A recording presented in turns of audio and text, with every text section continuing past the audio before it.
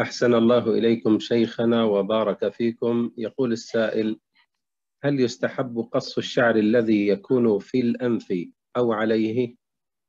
نعم بالنسبة لشعر البدن عموما سواء شعر الأنف شعر الصدر شعر الظهر شعر الساقين هذا كله يجوز إزالته يجوز إزالته ولا يصح في النهي عن إزالة شعر الأنف حديث لأن يروج كثير من العوام على أن إزالة آه، شعر الأنف آه، يورث الفقر أو شيء من هذا القبيل. هذا غير صحيح. هذا غير صحيح. ولذلك الشعور التي جاءت الأحكام الشرعية فيها أولا آه، شعر الرأس.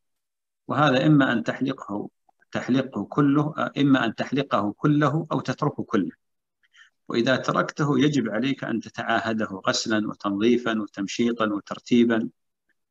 كما قيل للإمام أحمد يعني يحلق كثيرا. فسئل في قال له كلفة يريد دهن ومشط وغسل وهو مشغول في العلم. هذا شعر الرأس. بالنسبة لشعر الحاجبين يحرم نمصهما على الرجال والنساء. يحرم نمصهما على الرجال والنساء. شعر الحاجبين.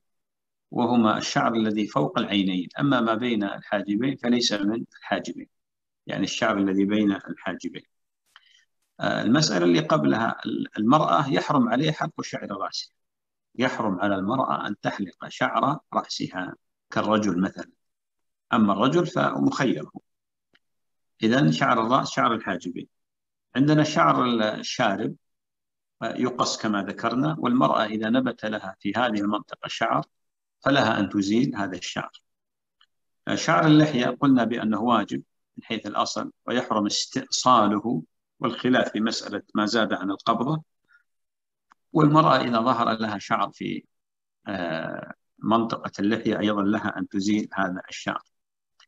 عندنا شعر الإبطين ذكرناه قبل قليل فصلنا فيه القول. عندنا شعر العانة كذلك وما يلحق به من شعر الدبر والأنثيين.